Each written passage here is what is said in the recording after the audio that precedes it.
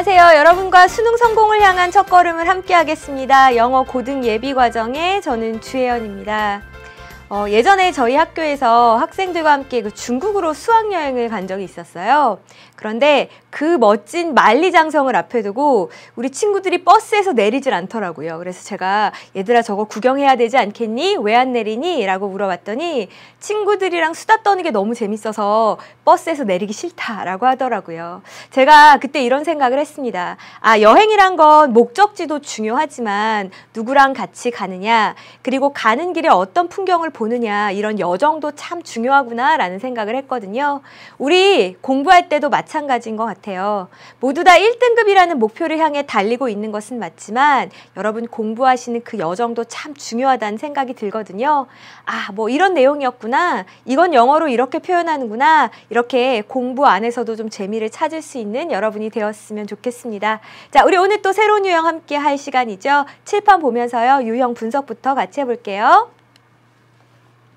자, 오늘은 세부 내용 파악에 대한 이야기를 같이 해볼 거예요. 문제는 이런 형식으로 생겼습니다. 땡땡에 관한 다음 글의 내용과 일치하지 않는 것은 혹은 일치하는 것은 이란 문제예요. 여러분 풀어보시면 알겠지만 절대로 어렵지 않습니다. 모두가 다 맞추는 문제이기 때문에 당연히 우리도 맞춰야 되는 거고요. 맞추는 걸 넘어서서 빠르고 정확하게 맞추는 것이 목표가 되어야 합니다.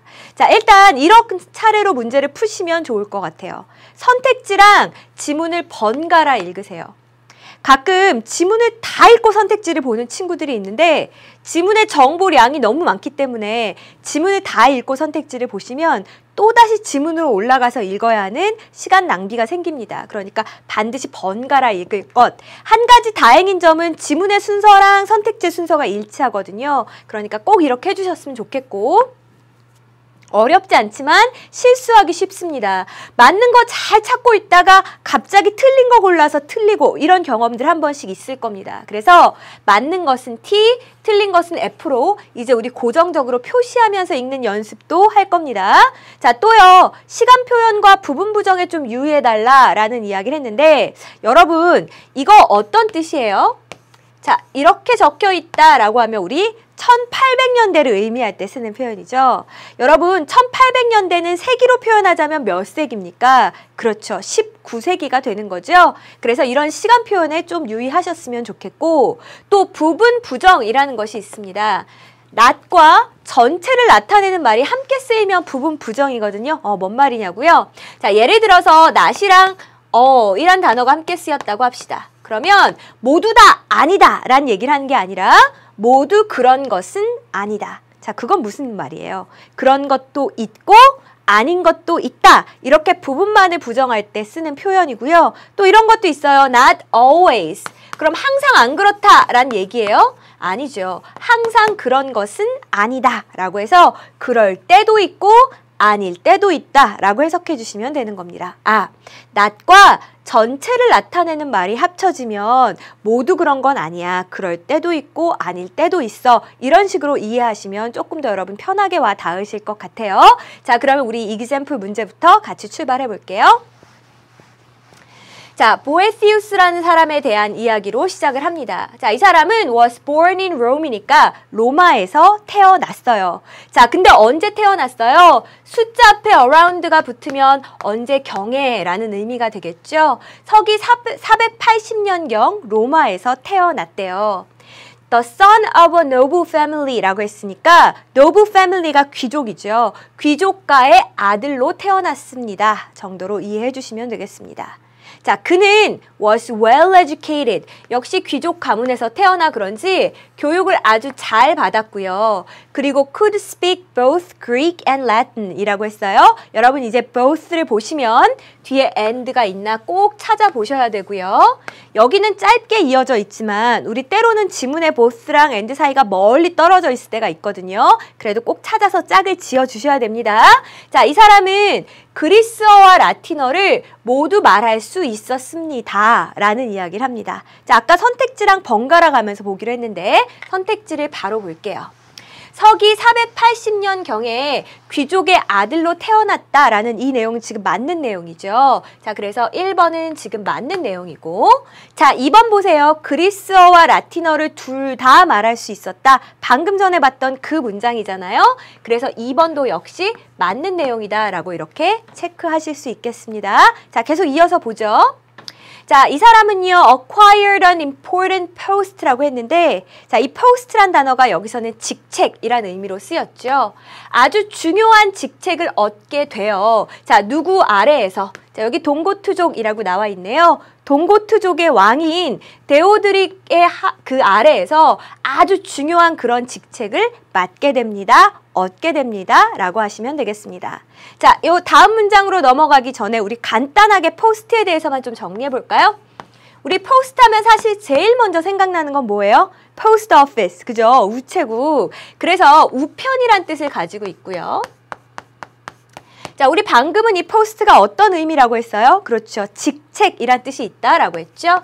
직책, 직위라는 뜻으로도 post를 사용할 수 있고 또요.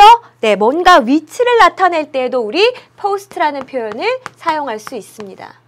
자, 각각이 동사랑도 연결이 돼요. 자, 그러면 post가 동사로 쓰이면 어떻게 될까요? 우편물을 부치다 라고 할 때도 post 쓸 수 있겠고 또 직책이란 단어가 동사로 연결되면 어떻게 될까?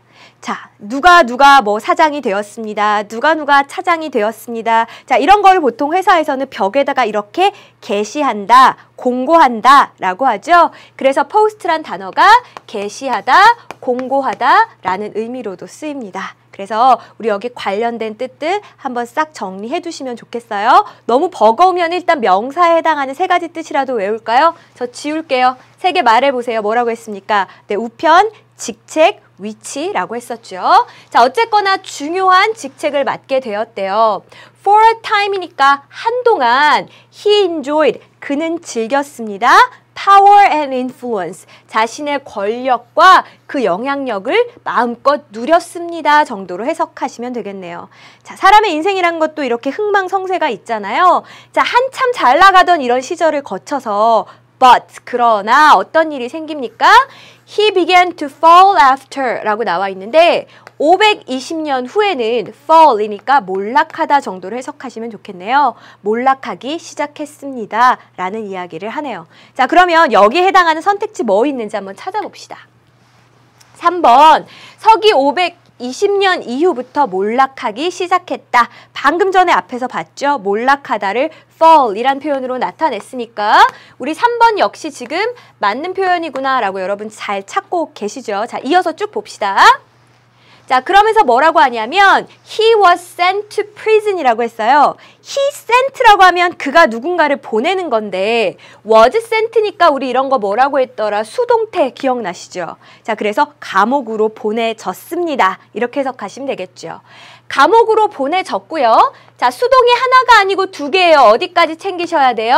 He was put to death가 되는 거죠. 사형을 당했습니다. 죽음에 이르렀습니다. 란 뜻이에요. 자, 그는 어떻게 죽음에 이르게 되었어요? After terrible tortures. 여러분, torture라고 하면 고문이니까 아주 끔찍한 고문을 당한 끝에 죽음에 이르게 되었습니다. 말년이 상당히 비참했던 그런 사람이었습니다. 그러면서 while in prison 감옥에 있는 동안 he wrote his famous book 아주 유명한 책을 집필하게 되는데 그것이 바로 The Consolation of Philosophy라는 책이래요. 여러분 consolation이라고 하면 위안이란 뜻인데 철학의 위안이라는 그런 책을 집필하게 되었습니다. 라고 이해하시면 되겠습니다. 그 가진 고문을 당하고 한때 정말 부러울 것 없는 권세를 누리던 사람이 감옥에 이렇게 들어가 있을 때에는 정말 아무것도 하기 싫고 삶을 비관할 것 같은데 이 사람은 이제 마지막 삶의 어떤 불꽃을 불태우면서 이런 책을 집필했습니다. 뭐 이런 내용이었고요. 넘어가려고 봤더니 뭐 하나 좀 이상한 거 보이지 않으세요? 아, 쌤 이상해요. while이란 게 이때까지 제가 봤을 때에는 뒤에 항상 주어 동사가 다 나왔거든요. 근데 여긴 보니까 while in prison 이래요. 이상해요. 중간에 뭐가 잘린 것 같아요. 네, 맞아요. 뭐가 없어졌는지 한번 찾아봐요. 자, 일단은 왜 없앴을까요? 없어도 이해할 수 있으니까. 그럼 어떨 경우에 우리가 없어도 이해할 수 있죠?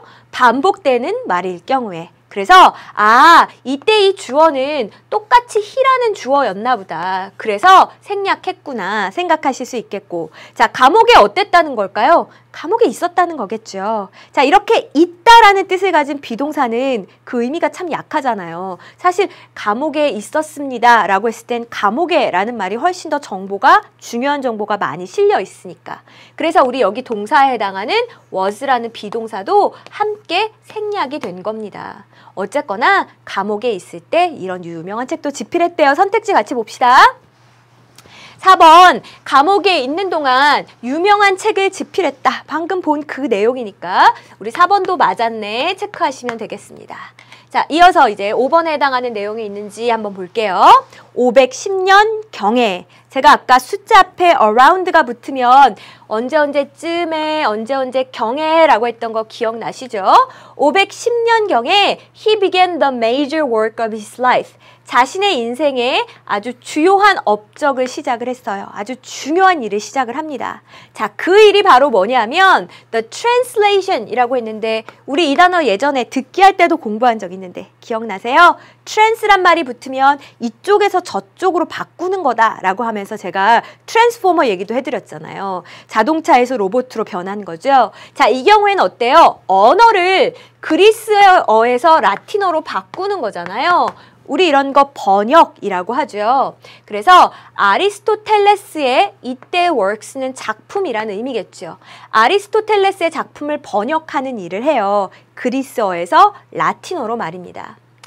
However, 자 그런데 instead of translating all the works of Aristotle이라고 해서 이 아리스토텔레스의 모든 작품을 갖다 그냥 다 번역을 하는 대신에 he translated 자 그는 무엇만을 번역을 했나요? 여기 나와 있죠. organon이라는 이 작품만을 번역을 합니다. 자, 이 작품은 뭐에 대한 작품일까요? works on logic이니까 논리에 대한 그런 작품인데 이 작품만을 이렇게 번역을 합니다. 라는 이야기를 하고 있습니다. 자, 그러면 여러분 뒤로 넘겨서 선택지를 한번 보죠.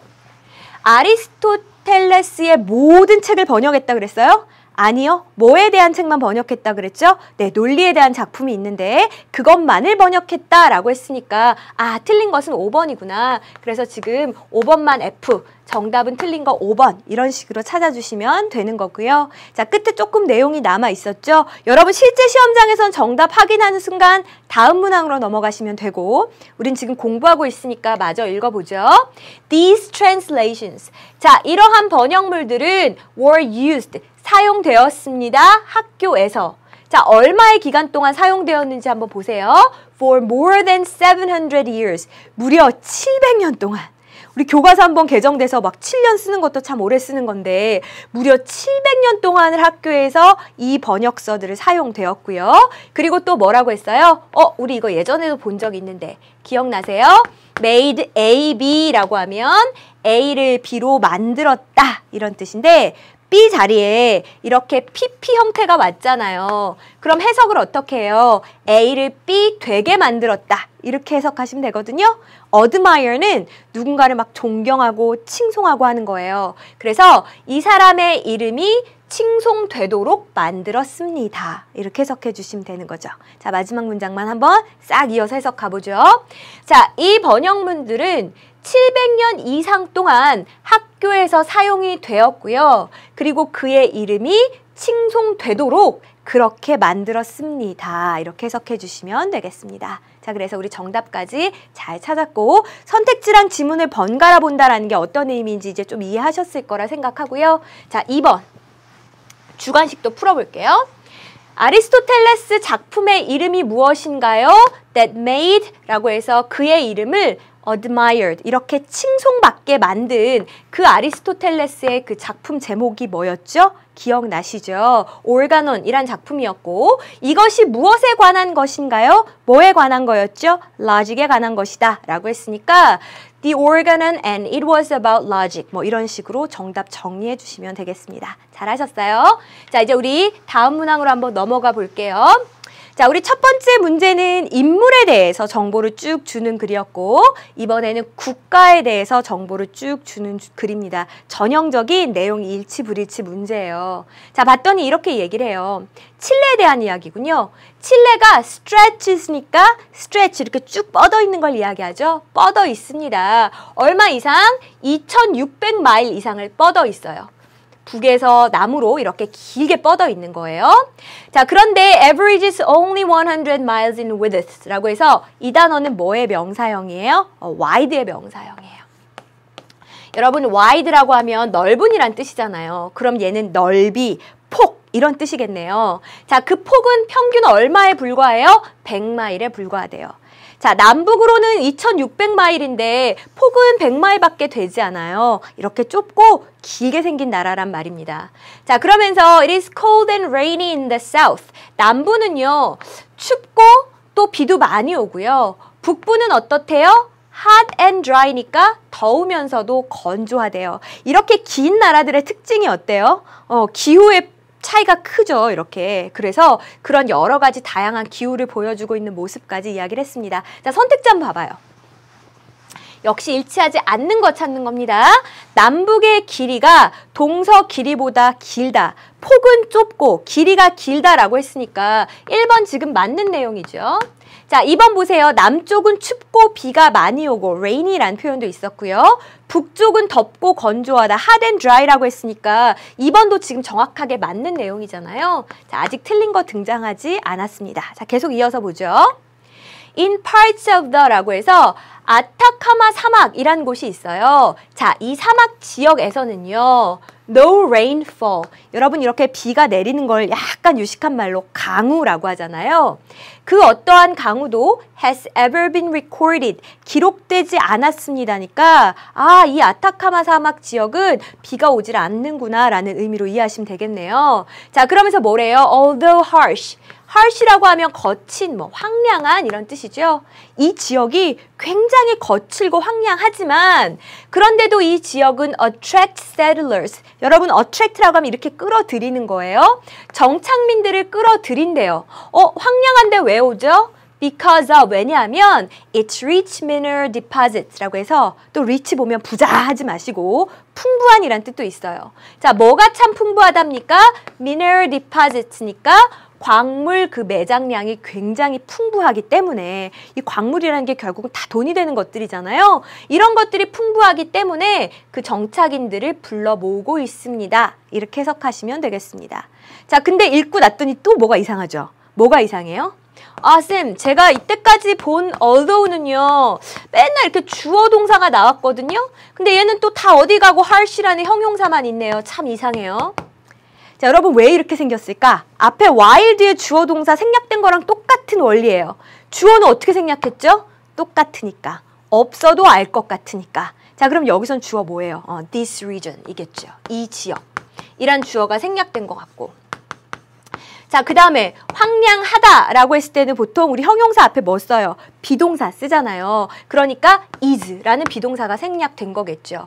Although this region is harsh, this region attracts settlers. 너무 반복이 심하니까 없어도 알 수 있을 만한 말들은 이렇게 다 생략을 한 거라고요. 자, 비록 이 지역이 굉장히 황량하긴 하지만 풍부한 광물 매장량 덕분에 정착인들을 불러 모으고 있습니다. 끌어들이고 있습니다. 하시면 돼요. 자, 선택지 보세요. 3번. 아타카마 사막 지역에는 광물 매장량이 풍부하다. 우리 방금 확인한 내용이잖아요. 그러니까 3번 역시 맞았네 해주시면 되겠습니다. 자, 쭉 이어서 뒤를 봅시다.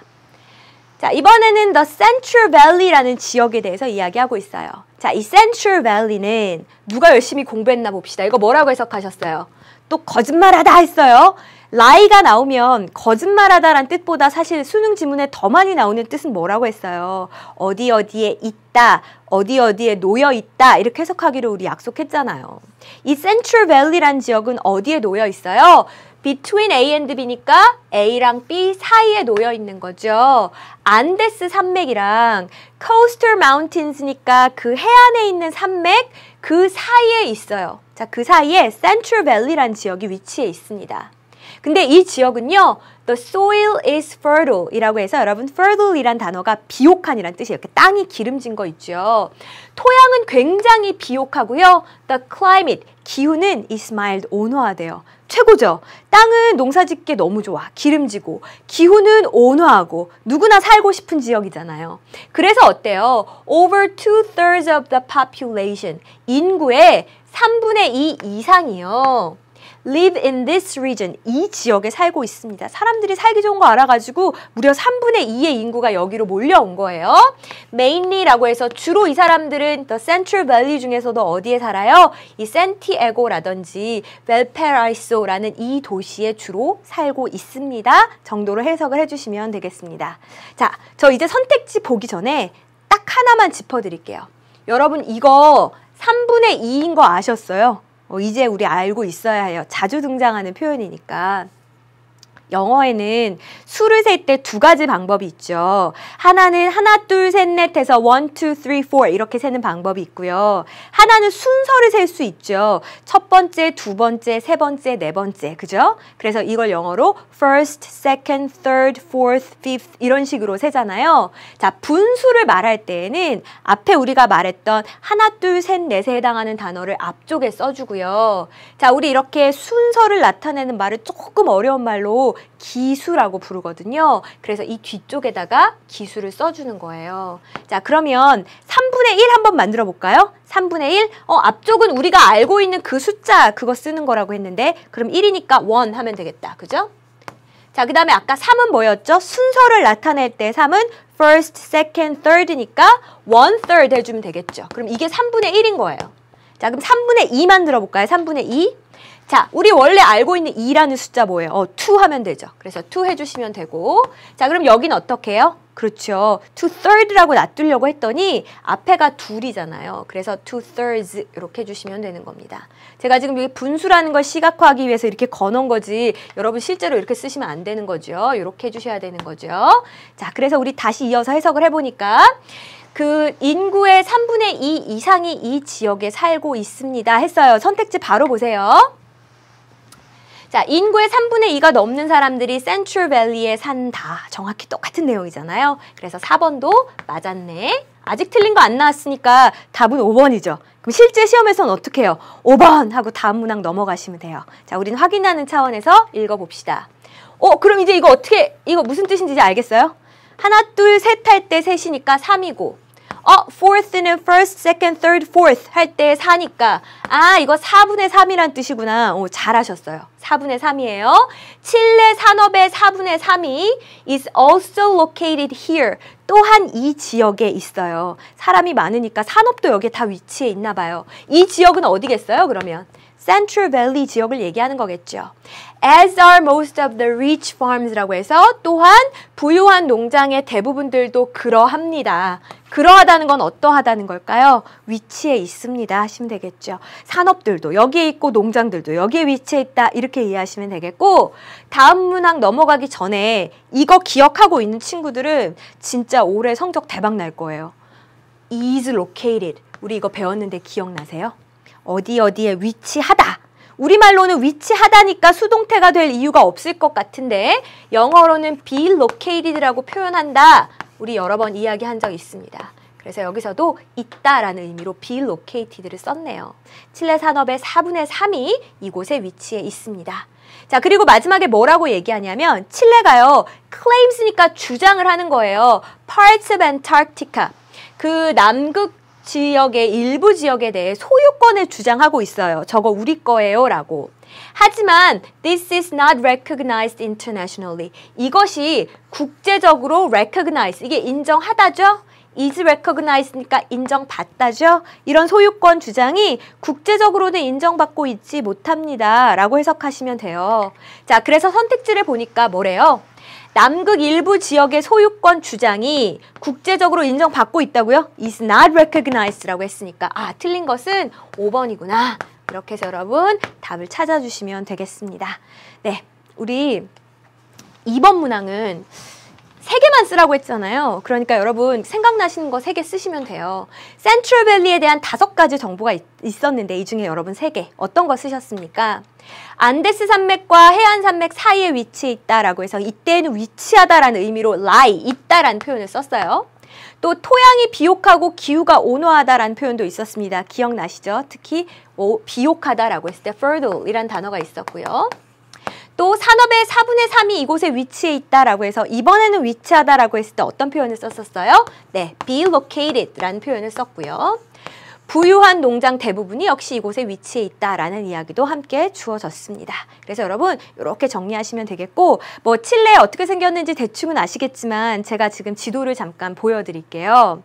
자, 이렇게 지도를 보시면 정말 길죠. 정말 남북으로 길쭉하게 생겼고 우리 아까 그 살기 좋다는 센트럴 밸리 지역이 지금 중반부 정도에 이렇게 위치한 것도 아마 확인하실 수 있을 겁니다. 네, 아, 요런 요런 나라에 대한 정보였구나. 자, 이제 우리 다음 문항 넘어가 볼게요.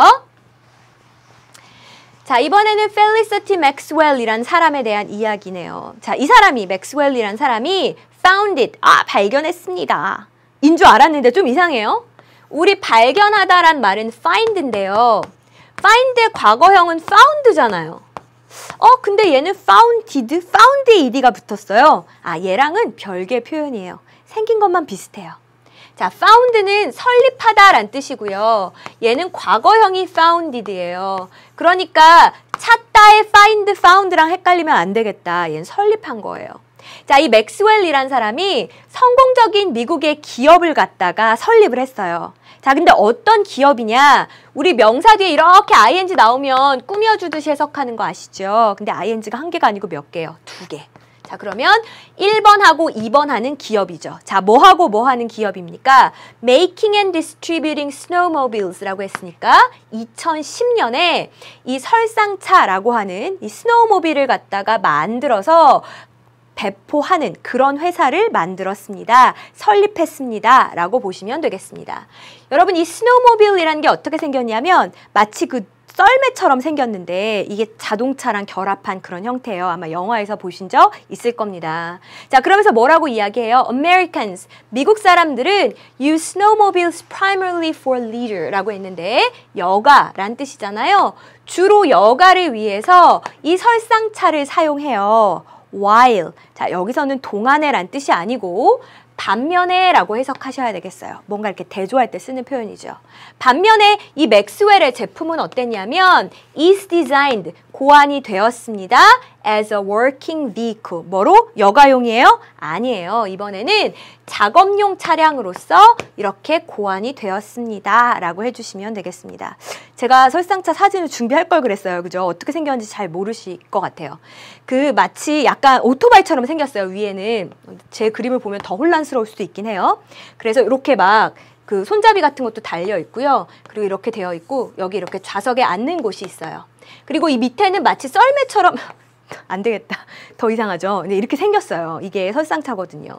자, 그럼 선택지를 같이 좀 볼게요. 자, 이 맥스웰의 회사에 관한 내용과 일치하는 거 찾는 거예요, 이번에는. 1번 보세요. 작업용이 아니라 여가용 설상차를 만든다라고 했어요. 보통은 여가용을 쓰는데 이 사람이 만든 걸 뭐라 그랬어요? 이 사람이 만든 건 working vehicle이다. 작업용을 만들었다라고 했으니까 지금 내용이 거꾸로 되어 있잖아요. 1번은 어때요? 틀렸네요, 1번은. 우리 지금 맞는 거 찾아야 되는데 얘는 틀렸어요. 자, 계속 봅시다. That's why. 자, 우리 이런 거 나오면 붙여서 뭐라고 해석하기로 했는지 기억나세요? 네. 그래서 라고 해석하기로 했습니다.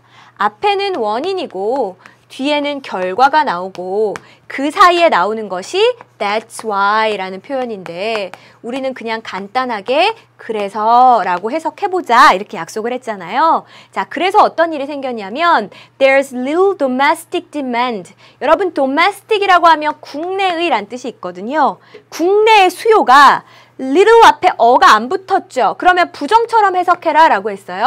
국내 수요가 거의 없어요. 그의 설상차에 대해서는. 왜 그렇죠? 지금 미국 이야기하고 있는 거예요. 그죠? 미국에서는 사람들이 설상차를 뭐로 쓴다 그랬어요? 여가용으로. 근데 이 사람은 작업용을 만들었잖아요. 그러니까 당연히 국내에서는 어때요? 수요가 거의 없겠죠. 어, 그럼 이 회사 망했어요? Instead, 그 대신에 nearly all of his products, 그의 제품 중에 nearly all이니까 거의 전부가 are export, exported라고 해서 여러분 export란 단어가 수출하다라는 뜻이거든요. overseas 어떻게 되었어요? 해외로 수출이 되고 있습니다. 아, 해외에다가 이제 이 설상차를 판매를 하는군요. 그의 회사는 employees라고 해서 employee가 이렇게 사람을 고용한 의미를 갖고 있거든요. 자, 누구를 고용해요? most of the workers in its community라고 해서 그 지역 사회에 지, 그 지역 사회에서 근로자들의 대부분을 고용하고 있습니다. 라고 하시면 되겠습니다. 자, 그 지역 사회 안에서 근로자들을 선발해서 고용을 한다. 라는 이야기까지 했어요. 자, 그럼 문제 한번 보세요. 자, 거의 모든 설상차를 국내에 공급한다 그랬어요. Little domestic demand. 국내 수요가 거의 없다고 했으니까 2번 틀렸잖아요. 그죠? 3번은 어때요? 대부분 다른 지역 출신의 노동자로 고용한다라고 했어요. In its community. 그 지역 사회 안에서 대부분의 고, 노동자들을 고용한다라고 했으니까 3번도 지금 틀렸잖아요. 어, 맞은 거 언제 나올래나? 자, 계속 봅시다. Because his workers spend라고 해서 자, 그의 근로자들이 썼습니다. 뭐를 사용하고 있나요? About 60% of their income locally라고 이야기하네요. 자, 우리 이렇게 숫자 앞에 about이 붙으면 뭐 대략 이런 뜻이잖아요. 자, 대략 60%요. 뭐요? of their income이니까 그 수입의 대략 60%를 사용하고 있다라는 이야기를 하는 거예요. 그것도 locally니까 그 지역 그 지역에서 이렇게 이해하시면 되겠죠. 자, 맥스웰 회사의 그 직원들이 그 지역에서 수입의 대략 60%가량을 사용하고 있기 때문에 엄청나게 많은 거를 다시 그 지역에 지금 돌려주고 있는 거죠. 경제적인 이익을. 그래서 맥스웰의 페이롤이라고 해서 아래에 급여 지불 총액이라고 나와 있습니다. 급여 지불 총액이 is responsible for 책임이 있습니다. 그랬잖아요. 어디에 책임이 있어요? 또 숫자 앞에 어바웃 나왔네요. 대략 얼마예요? 2천만 달러. 연간 수입의 2천만 달러가량을 책임지고 있답니다. 어디에서? In the community. 그 지역 사회에서요. 자, 우리말로 2천만 달러를 책임지고 있다. 이게 무슨 말이지? 그 지역사회에 벌어들이는 연간 벌어들이는 수입 중에 2천만 달러는 다 누구 덕분이다 이 얘기예요. 그렇죠. 이 맥스웰 회사 직원들의 월급 덕분이다. 그 정도의 비중을 차지하고 있다. 이런 식으로 이해해 주시면 되겠고요. 해석만 한번 매끄럽게 이어간 다음에 선택지 좀 보도록 하죠. 자, 그 회사 직원들이 지역에서 수입의 약 60%가량을 사용하기 때문에 맥스웰 회사의 급여 지불 총액이 그 지역 사회의 연간 수입의 약 2천만 달러 정도를 책임지고 있습니다. 이렇게 해석해 주시면 되겠고요. 자, 선택지로 어떻게 만들어졌나 봤더니 매달 지불하는 급여 총액은 약 2천만 달러이다 그랬어요?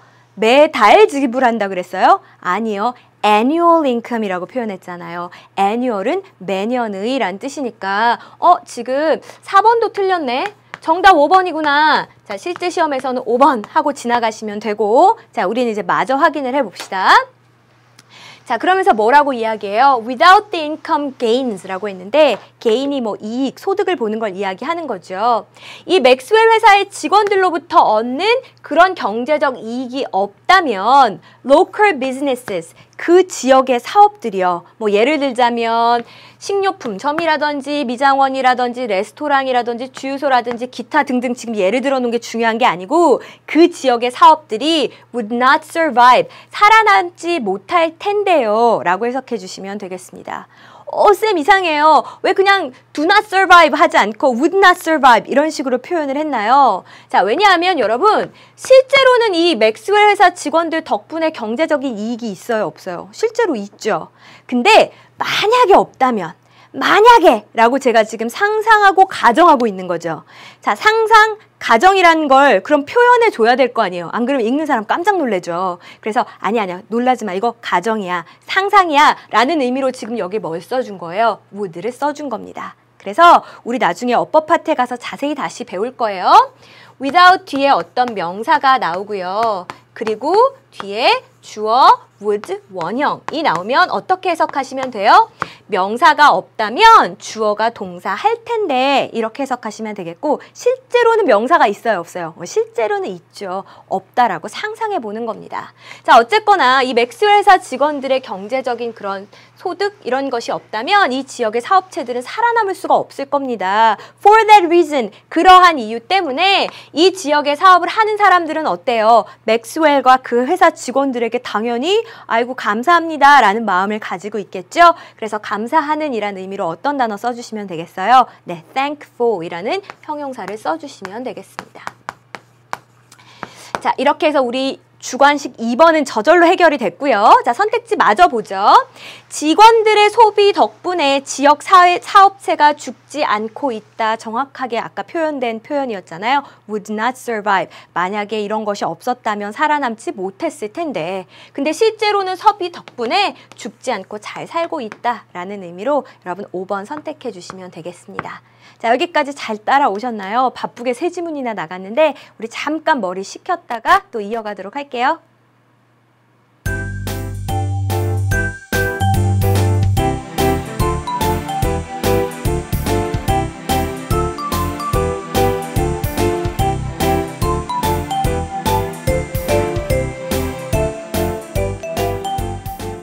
네, 여러분은 어떻게 데리고 가겠다라고 답을 하셨나요? 각각의 상징하는 바가 있다라고 해요. 독수리가 상징하는 것은 배우자, 뱀이 상징하는 것은 재산, 원숭이를 원숭이가 상징하는 것은 자식이라고 합니다. 그래서 나의 인생의 이 세 가지 큰 가치를 어떻게 함께 굴릴 것이냐라는 의미를 갖는 심리 테스트래요. 가장 뭐 보통 많이 나오는 답이 뱀은 목에 걸고 원숭이 손을 잡고 그리고 독수리는 내 어깨에 올려놓고 셋이 가겠다. 이제 뭐 이런 답이 제일 좋은 것 같고 가장 좀 안타까운 답은 뱀은 버리고 독수리를 타고 원숭이를 머리에 올려놓고 가겠다 이렇게 대답하는 친구들도 꽤 있더라고요. 어, 버리면 안 되죠. 같이 가야죠. 네, 우리 이제 그 네 번째 지문 또 이어서 보도록 할게요. 엑서사이즈 3번입니다. 자, 이번에는 tufted puffins라는 그 새에 대한 건데 에토피리카라는 이름이 있죠. 그런데 실제로 우리 몰랐다 치고 그냥 puffin이라고 간략하게 같이 부르도록 할게요. 자, 이 퍼피는요, breed니까 새끼를 낳습니다 하시면 되겠어요. 자, 어디에 새끼를 낳는데요? 섬과 바위 투성이의 그 절벽에다가 새끼를 낳습니다. 자, 그런데 그 어디에 있는 섬과 어디에 있는 절벽인가요? Arctic waters of the North Pacific 이라고 했으니까 그 북해에 있는 북극해 지역에 그 섬과 절벽에 새끼를 낳습니다 하시면 되겠고 쌤 여기 막 무슨 바다 이름 엄청 많이 나오는데 이거 해석 안 해주세요. 자 선택지 보시면 위치에 대한 거는 선택지로 주어져 있지 않아요. 그래서 가볍게 아 그냥 여기에 새끼를 낳는구나 정도 보시고 넘어가시면 되겠습니다. 자 그들은 이라고 했으니까 당연히 지금 퍼핀스에 대해서 이야기를 하는 거겠죠. Are the size of pigeons. 여러분 pigeon이라고 하면 비둘기잖아요. 크기가 비둘기만 해요. 한 이만한가? 그리고 weigh라고 했으니 무게가 나가다 이런 뜻이죠. nearly twice as much. Twice라고 했으니까 거의 두 배 무게가 나갑니다. 크기는 비슷한데 무게는 두 배다라는 이야기를 했어요. 자, 그러면 일치하는 거 찾아봅시다. 비둘기와 크기가 같지만 비둘기보다 가벼운 게 아니고 무게가 지금 더 나가고 있는 거죠. 자, 그래서 1번은 지금 틀렸고 우리 일치하는 거 찾아야 합니다. in flight. 자, 날아다닐 때는 어떻게 하나 봤더니 they look like flying seagulls 라고 해서 여러분 씨가 약간 이렇게 통통하게 생긴 담배 아시죠? 마치 날아다니는 씨가처럼 보 여요. 그래서 어떻게 하냐면 moving very quickly 아주 빠르게 움직이는데 close to the water니까 물에 가까이 수면 가까이 아주 빠르게 비행을 합니다. 빠르게 움직입니다. 라고 보시면 되겠습니다. 또 They feed. 이때 they는 누구겠어요? 그쵸? 오늘의 주인공 퍼핀스를 이야기하는 거죠. 자, 먹이를 먹어요. 그런데 어떻게 먹냐면 by diving. 다이빙을 하고 그 다음에는 flying on the water. 물속을 샥 날아가는 겁니다. with their wings니까 막 날개를 퍼덕여서 물속을 날아가는 거예요. 자, 뭘 추구해서 그런가요? In pursuit of small fish. 작은 물고기를 쫓아서 이렇게 해석을 하시면 되겠죠. 그래서 이 퍼핀즈들은 먹이를 먹어요. 어떤 방법으로? 다이빙을 해서 작은 물고기를 쫓아 날개를 퍼덕이며 물밑을 날아가는 그러한 방법으로요. 정도로 해석을 하시면 되겠고요. 선택지 볼게요. 물에서 멀리 떨어져 난다 라고 안 했죠. close란 표현 썼으니까 2번 지금 틀린 거 알 수 있고요. 3번에 대한 이야기는 아직 안 나왔네요. 마저 읽어봅시다. They hold the fish in their bills라고 해서 bill이란 단어가 여기서는 불이라는 의미이다 라고 여러분 주어졌습니다. 그래서 이 퍼핀즈는 그 불이 안에다가 물고기를 딱 잡아놓고 있는 거예요. 자, 언제까지? Until they return to the nest. 둥지로 돌아갈 때까지. 근데 이걸 왜 이렇게 잡고 있죠? To feed the puffin chicks라고 해서 그 어린 퍼핀 새끼들을 먹이기 위해서 그래서 둥지로 돌아갈 때까지 부리 속에 물고기를 딱 이렇게 담아가지고 가는 겁니다. 자 그러면서 뭐래요? They breed in holes. 구멍 안에다가 새끼를 낳아요. 그런데 쌤 명사 뒤에 주어 동사 또 나왔네요. 꾸며주듯이 해석하시면 되죠. 자, 어떤 구멍이에요? They dig into the ground. 땅 속에 판 그 구멍 속에다가 새끼를 낳고요. 그리고 build their nest. 거기다가 어떻게 해요? 둥지를 짓는 거예요. 일단 땅을 파고 새끼를 낳은 다음에 거기다가 이렇게 둥지를 짓는다 정도로 이해하시면 되겠고 이때 데이도 누굽니까? 그렇죠. 지금 퍼핀즈를 가리키고 있는 겁니다. 자 그럼 선택지를 볼게요. 잡은 물고기를 삼킨 뒤에 둥지에 있는 새에게 개워준다는 건 자기가 먹은 다음에 다시 이렇게 토해서 새끼한테 먹인다는 건데 그게 아니고 그냥 담아만 간다라고 했으니까 3번의 내용도 지금 틀린 거고요. 4번 땅속에 판 구멍에 새끼를 낳고 둥지를 짓는다라는 이 내용 아까 전에 정확히 일치하는 내용으로 나와 있었잖아요. 그러니까 어 4번이 맞았네. 자 그럼 실제 시험에서 어떻게? 다음 문항 가시면 되고요. 자, 우리는 마저 검토를 해볼게요. 자, 이 퍼핀의 새끼들은 come out, 밖으로 나옵니다. 어떨 때에만 only when they are ready to fly, 날 준비가 되어 있을 때에만 비로소 밖으로 나오는 거예요. 그래서 before then, 그 전에, 즉 날 준비가 되기 전에는 they never see the light 빛도 보지 못하고 밖으로도 나오지 못해요 라고 얘기했거든요. 자, 날기 전에는 빛을 못 본다라고 한 이 네이는 누구예요? puffins, 다 큰 puffin을 얘기하는 거예요? 아니요, puffin의 새끼를 이야기하는 거죠. 그래서 어, 앞에는 다 puffins였는데 이거는 puffin chicks를 가리키는구나. 2번이 틀렸네 라고 이렇게 골라주시면 되겠고 이게 가리키는 바는 puffin chicks 이런 식으로 써주시면 되겠죠. 자, 이 터핏 퍼핀즈는 breeding colonies라고 했는데 어, colony 쌤 제가 공부 좀 했는데 식민지란 뜻이죠. 네, 식민지라는 뜻도 있고 군집, 집단 이렇게 모여 있는 걸 이야기해요. 자, 모여서 새끼를 낳아요. Some with only a few nests. 몇몇은 그냥 둥지가 몇 개밖에 안 되는 그런 군집도 있고요. Some very large. 어떤 군집은 크기도 하고요. 그러니까 뭐 크기의 차이는 있지만 혼자가 아니라 지금 이렇게 집단을 이루어서 새끼를 낳는다라고 나와 있습니다. 자, 그러면 5번 군집 생활 대신에 단독 생활을 한다라는 건 지금 계속해서 틀린 내용이라는 거 확인할 수 있죠. 그래서 정답은 4번이었고요. 우리 이 A에서 E 중 가리키는 대상이 다른 바에 대한 이야기는 이미 앞에서 함께 나눴습니다. 자, 이제 오늘의 마지막 지문 좀 살펴볼게요. 프랭크 라이트라는 사람에 대한 이야기입니다. 자, 이 사람은요, 이런 지역에서 어느 연도에 태어났습니다. 라고 나왔는데 문제화 되지 않았으니까, 아, 그냥 이렇게 되었구나. 간단히만 읽어보시면 되겠고, his mother. 자, 그의 어머니 이야기가 나와요. 그에게 wooden blocks, 뭐를 줬대요? 나무로 된 이 블록을 주셨답니다. 자, 이것들이 즉 이 나무 블록이요. gave him an early interest. 그에게 이른 관심을 갖게 해 주었습니다. 어디에 대해서 관심을 갖게 했나요?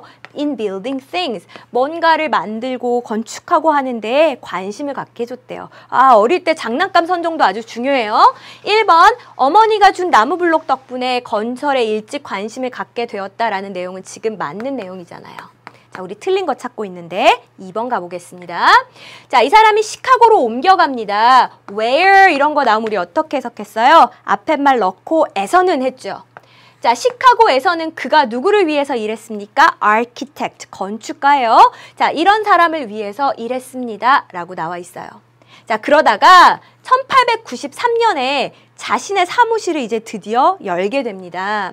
When designing buildings, 건물을 갖다가 디자인할 때 이 사람은요. follow the rule. 이런 규칙을 따랐대요. 자, 이 사람이 그 신조로 삼았던 규칙이 뭐냐면 form follows function. 그 형태는 기능을 따른다라는 규칙을 세웠답니다. 여러분, A는 B를 따른다라고 했을 때 뭐가 먼저예요? A가 B를 따르는 거니까. 그쵸? B가 먼저죠. B가 1번, A가 2번이죠. 자, 마찬가지예요. 펑션이 1번, 폼이 2번입니다. 이 사람의 머릿속에 가장 중요한 건 뭐예요? 건물의 겉모습이에요? 기능이에요? 기능이 중요하고 형태는 그 뒤를 따른다라고 얘기했다는 거예요. 어렵죠? 그래요. 그래서 뒤에 자세하게 풀어놨습니다. 우리 그거 보기 전에 선택지 먼저 봐요. 자, 시카고에서 건축가 루이스 설리반을 위해 일했다라는 내용 나와 있었죠. 맞는 내용이고. 자, 3번에 대한 내용은 아직 언급되지 않았으니까 쭉 이어서 가봅시다. This means 아까 그 어려운 말 있었잖아요. Form follows function라는 그 말의 뜻이 뭐냐면 the needs of a building's users 건물 사용자의 필요가 should determine its structure 그 구조를 결정해야 된다. 아 누구에 따라서 그 사용자들의 필요에 따라서 구조를 정해야 된다라는 게 이 사람의 신념이었다라는 거죠. 자, 그래서 우리 주관식 2번이요. form follows function이 무슨 말이냐라는 거를 물어봤을 때 이 부분을 한글 해석으로 옮겨주시면 정확한 정답이 되겠습니다. 자, 그러면서 뭐래요? Many of Wright's creations. 이 라이트가 만든 건축물 중에 상당수는 were shocking to people. 사람들에게 굉장히 충격적이었대요. 자, 어떤 사람들인가요? used to 뒤에 명사가 나오면 뭐뭐에 익숙한 이런 뜻이에요. 그래서 더 전통적인 디자인에 익숙한 사람들에게는 꽤나 충격이었습니다. 라고 했는데 제가 잠깐 건축물 보여드릴게요. 자, 지금 우리가 보기에는 뭐, 어, 그럴 수도 있겠다 싶지만 당시에는 정말 파격적인 모습이었던 거죠. 그래서 많은 사람들을 충격에 몰아넣었던 어, 그, 이 사람의 작품 중에 하나가 되겠습니다. 어쨌거나, 자, 그러면 우리 선택지에 3번 전통적인 디자인에 익숙해 있던 사람에게 충격을 주었다라는 것도 역시 맞는 내용이라는 거 확인할 수 있습니다.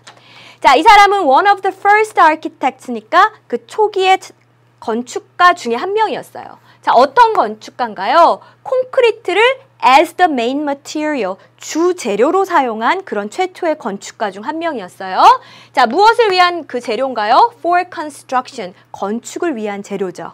자, 근데 이게 중요해요. 뭐 하지 않았어요? without disguising it under other materials.